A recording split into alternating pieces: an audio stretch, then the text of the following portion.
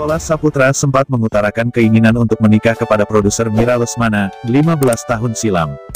Kala itu, Mira Lesmana memberikan saran atas pertanyaan Nicholas Saputra tentang pernikahan. Mira Lesmana melarang Nicholas Saputra menikah. 15 tahun silam, Nicholas Saputra tengah meroket sebagai aktor berkat penampilannya sebagai Rangga di film Ada Apa Dengan Cinta. Beberapa tahun yang lalu, gue lupa 15 tahun lalu, ini enggak banyak yang tahu, Riri saja enggak tahu.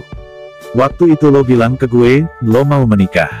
Lo sudah siap nikah? Kata Mira Lesmana kepada Nicholas Saputra di gelar wicara daring Kevin Fever di Jakarta, Senin, tanggal 27 April tahun 2020. Banyak banget soalnya yang nanyakan, kapan nikah? If only they know. Terus apa yang gue katakan ke lo? Bisa disare enggak? Tanya Mira Lesmana.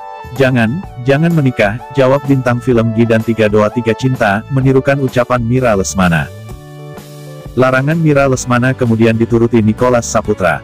Bukan hanya membatalkan rencana untuk menikah kala itu, Nicholas Saputra hingga kini pun masih betah melajang. Lantas, apakah Nicholas Saputra menyesali keputusannya mengikuti saran Mira Lesmana? Apakah ia marah kepada produser film petualangan Sherina dan Laskar Pelangi itu? Rupanya, Nicholas Saputra sama sekali tak menyalahkan Mira Lesmana atas kegagalan rencana untuk menikah 15 tahun lalu. Gue sama sekali tidak menyalahkan lo. Waktu itu, kan bertanya dan losok, kata Nicholas Saputra. Nicholas Saputra mensyukuri keputusannya untuk tak menikah di usia muda.